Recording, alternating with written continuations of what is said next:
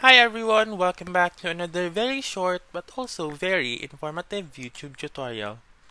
In this video, I am going to teach you how to get dark mode on Facebook on any iPhone. So let's begin right away.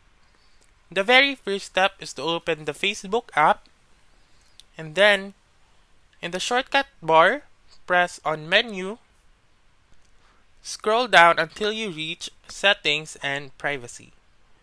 Click on settings and privacy, click on settings, then scroll down again until you reach preferences. Under preferences, there you can see the dark mode setting. Click on dark mode and then press on. So that's it. Your Facebook now is on dark mode.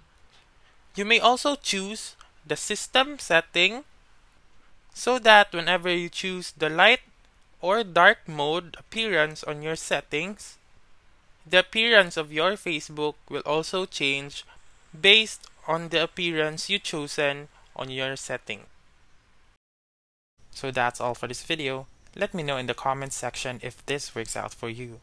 For more helpful tutorials like this, please subscribe to our channel and don't forget to click that notification bell. Thank you for watching and have a wonderful day.